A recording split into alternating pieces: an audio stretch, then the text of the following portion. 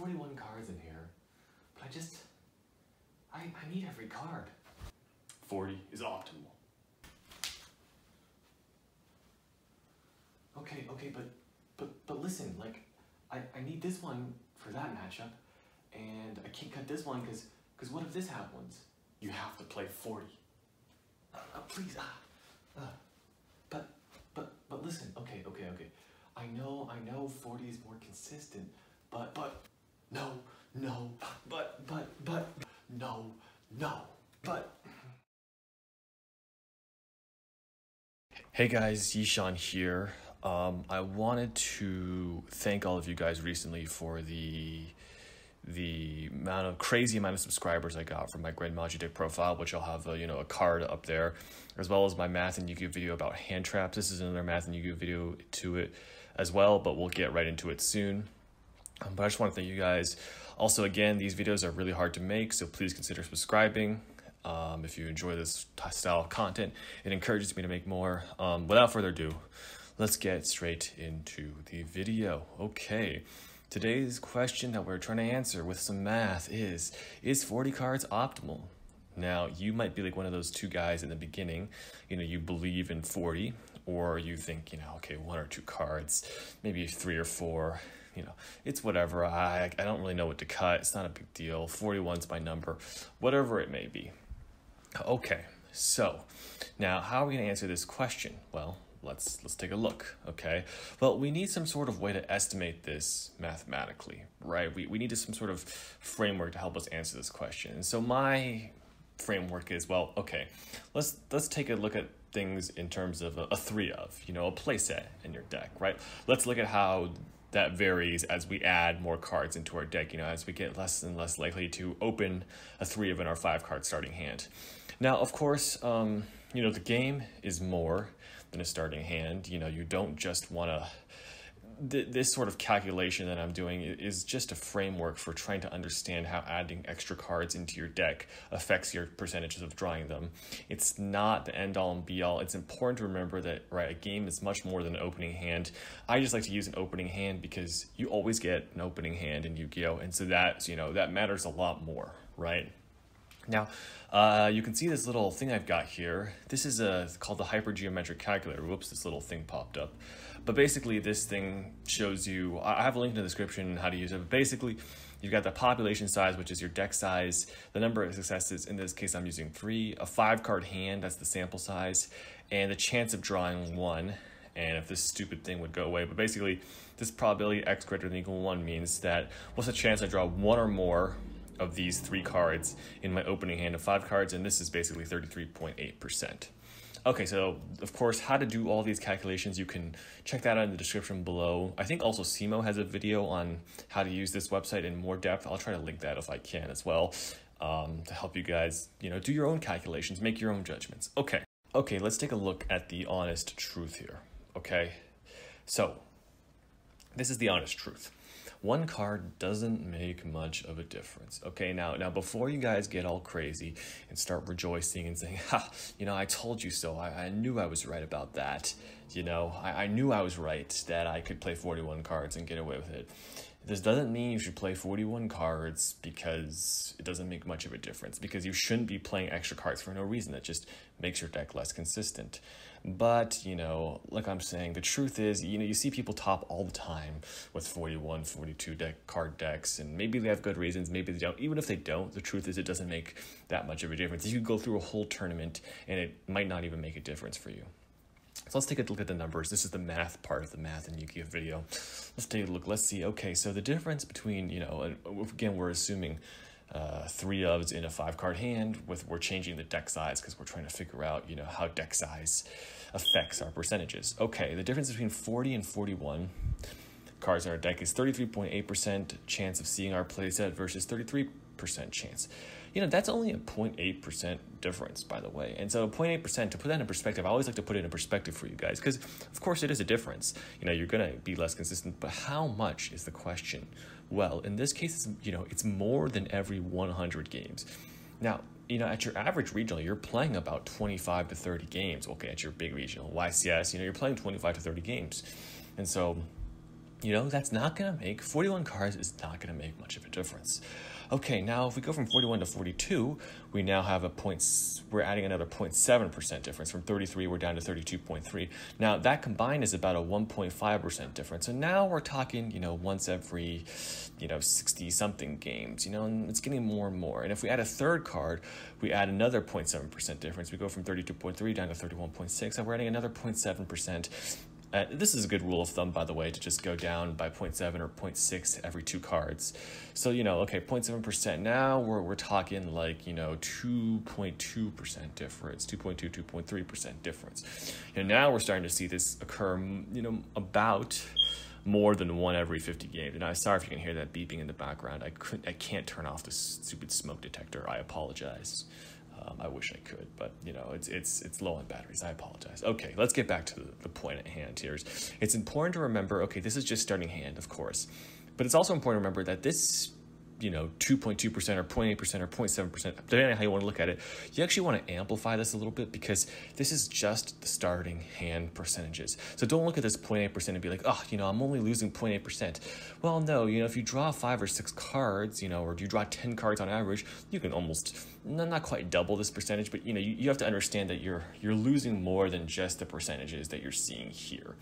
But the truth is when it comes to just opening up cards one card doesn't make much of a difference but again, you shouldn't just play extra card because it still makes a slight bit difference. It's just not that much.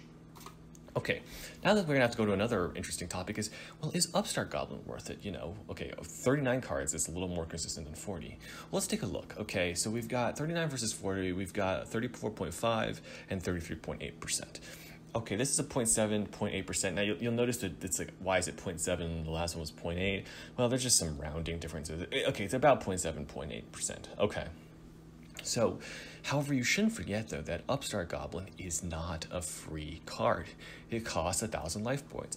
Now, if your deck doesn't care about life points, you know, you think life points matter very little when it comes to winning games, you know, uh, Gren Maju, I think life points do matter, but some decks really, really just don't care about life points. Then Upstart Goblin should prob- should be in your deck if you're going to play a 40 card deck.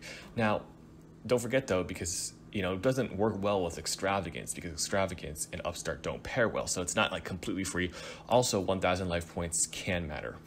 Also, I've heard some people say, and I just want to bring this point up. I've heard some people say that, you know, well, okay, I have Upstart Goblin in my deck, but if I don't draw it, I actually save the 1,000 life points. And a lot of people say that as a, as a you know as a benefit to, to saying is Upstart Goblin. Where the, well, actually, that's not quite true because if you don't draw the Upstart Goblin, if you also didn't draw the card that you put in your deck, not you, you also save a thousand life points, right? Like if you don't draw the Upstart Goblin, if the Upstart Goblin was a different card, you know, you would still save the 1,000 life points. So Upstart Goblin only matters when you draw. That's that's when the 1,000 life points. So we're getting this 0.7% difference. Now, this is important. So I, I, think that if you are playing a deck that's not playing Extravagance for some reason, but wants to play draw cards and doesn't really care much about life points, I do think Upstart Goblin is worth it. Um, depending, you know. Of course, there's a lot of circumstances, but certainly a card not to forget. Okay, some decks should definitely play 40 cards in my opinion, or less, 39, I should say, or 39. But, you know, some decks, some of these decks play extravagance.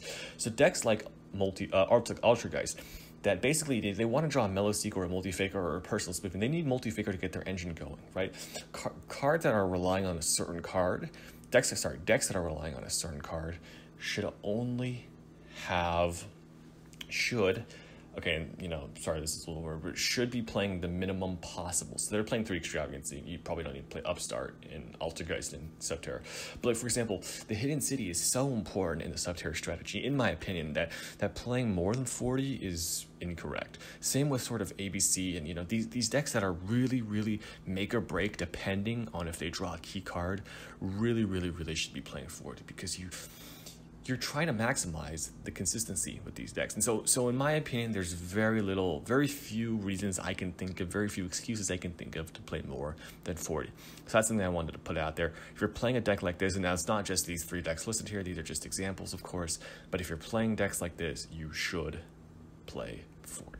Okay, so Now we have we have to ask ourselves, well, okay, sometimes it's okay to go over, right? Okay. Now I, I wrote this in caps and you should definitely have a reason for going over. Like I said, you shouldn't just be playing 41 cards because you feel like it. Okay, you need to have a good reason.